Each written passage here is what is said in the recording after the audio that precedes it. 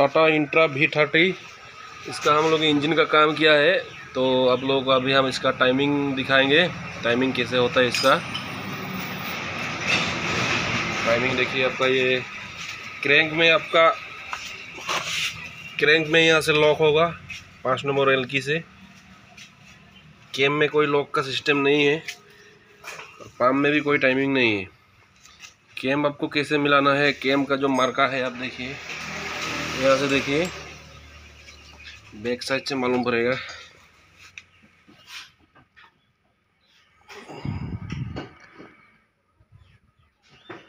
ये देखिए dot to dot मिलना चाहिए।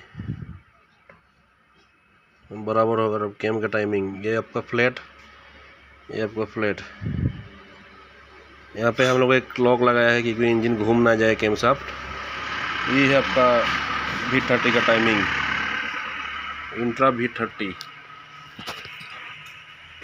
देखिए टाइमिंग